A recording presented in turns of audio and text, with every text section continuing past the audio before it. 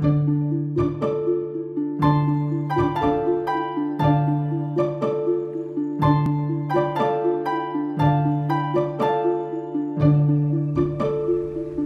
thirty-five, a brand new play written for the 2020 Edinburgh Fringe Festival and adapted for radio by Maggie Baring, Emily Browning, and Tim Coker.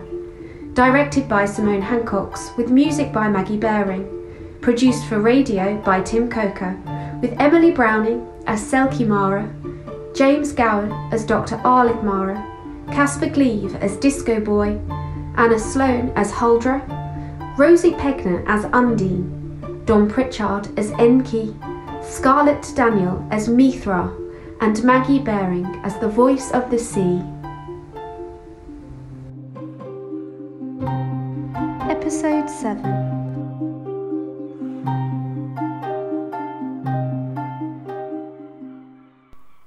She was going to tell me something. She said,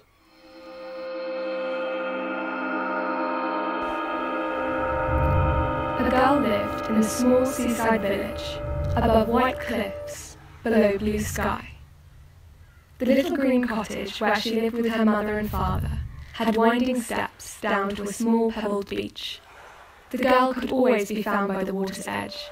She would lie for hours, humming the song of the sea and circling her toes in the water. The family were poor. The mother was sick, and the girl's father struggled day and night to find food for his wife and daughter. The girl was often sent out to find work, food, anything to help them stay afloat. But she could never focus on the task for very long. She was always drawn back to the call of the ocean, ending up knee deep in water every time. Her father would return in the evenings to find her still, sitting in that same spot, her dress filthy, her basket of seafood empty. One evening, the father returned, a knot of fear hard in his chest. The daughter was not home. Don't you get it? She's dead.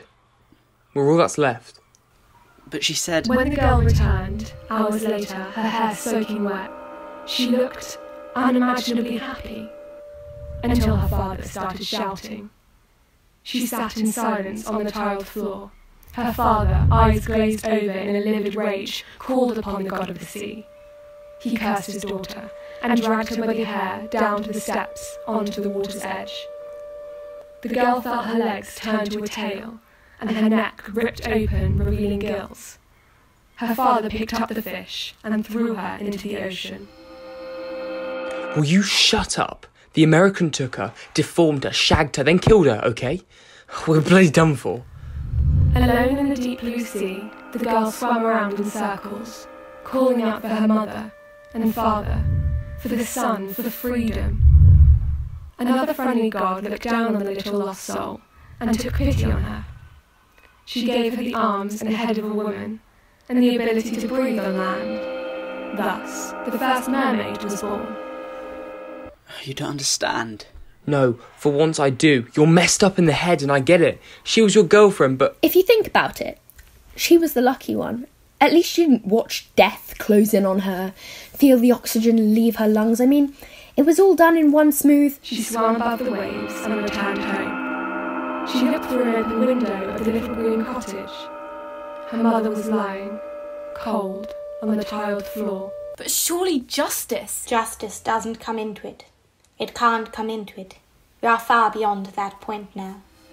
Following the pain of losing her daughter, the mother had killed herself.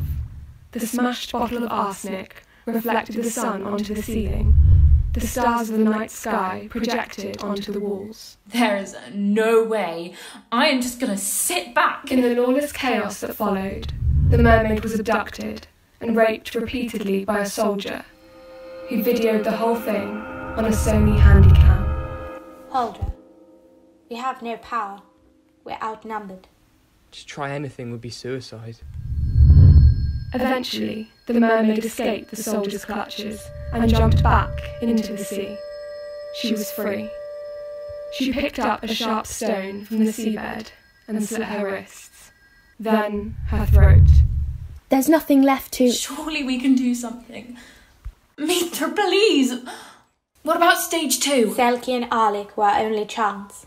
She was the only one left, and he was the only capable of saving us. It's over.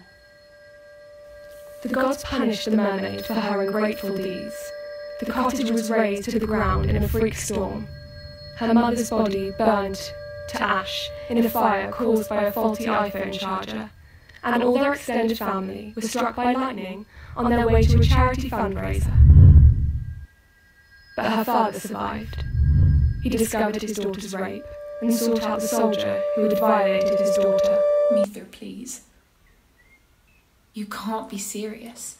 The human race is done. We did not pass the test. Adapt and evolve, they said. The ice caps are melting, they said. Unite.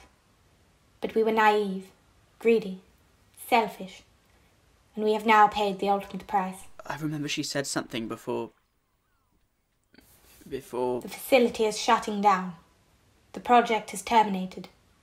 So you better make yourselves as comfortable as you can in what is left of this world.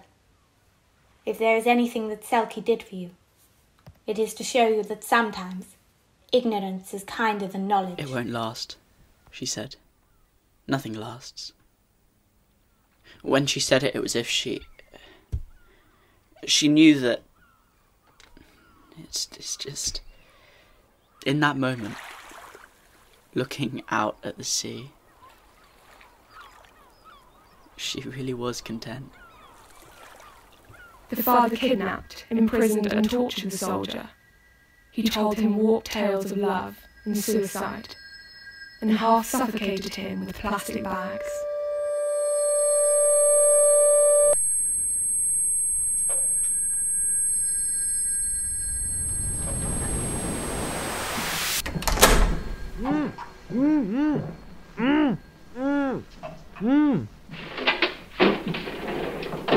You like cars? I used to joke this was all his fault. But he got through them. And the last one was a Mercedes. He'd made it. Executive black, leather seats. He drove it too. It was nip. The new job had a commute. His rationale spending four hours a day needs style, comfort, top of the range comfort. Style. Guzzler mind. And in the crisis spent more than he earned. The cult pushed him hard. Two kids he got. New girlfriend with another on the way. It mm. hit them hard. Not even a chance. First breath, and that was hard. But the others, they had potential. It was what it was. I think he used to say that. I, I wasn't like that. In some ways, we were very similar, but I didn't share his optimism. The garage was big enough for two cars, but half of it was full of junk. Dad's old lawnmower, some wooden ladders, empty plastic AdBlue canisters. The door used to stick, or else it'd fall down on its own after you'd opened it.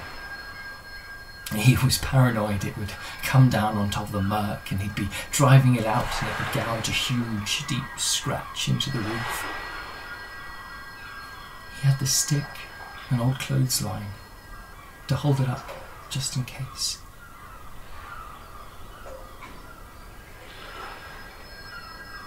He used cheese wire. Well, just wire, I suppose. Do you call it cheese wire? He wound down the two back windows and passed the wire through, securing it to the two metal posts that supported the mechanism either side of the door. He'd got the car just in the right position, with the bonnet poking out so the wire lined up really straight and taut. He'd never been Mr. DIY, but this. This was a good job. You have to give it to him. He put a brick on the accelerator pedal. I remember seeing movies as a kid when they did that. Neat trick. Must have got the revs right up and kicked it into gear from the back seat somehow. I couldn't quite work out how he managed that.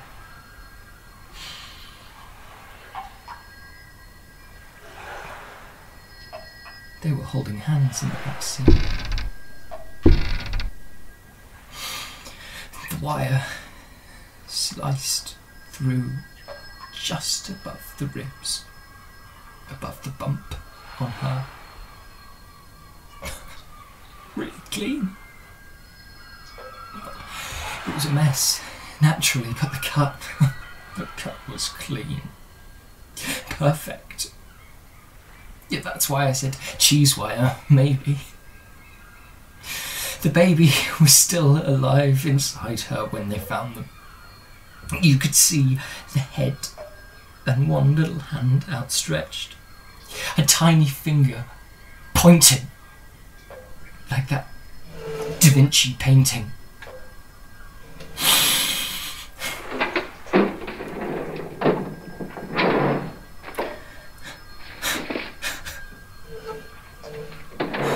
It sliced right mm. through the leather mm. seats too. Mm. Ah. Michelangelo.